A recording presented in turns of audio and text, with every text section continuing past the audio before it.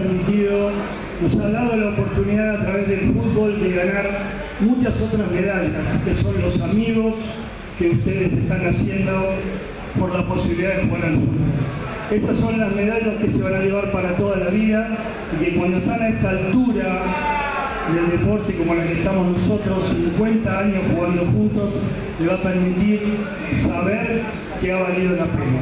Yo quiero felicitar a la Capitanía de Fútbol, quiero felicitar a la Capitanía General de Deporte y a todos los que han intervenido, que trabajan día a día por este deporte, que está creciendo muchísimo, reitero. Se los agradezco y les deseo a todos una feliz Navidad y un feliz fin de año.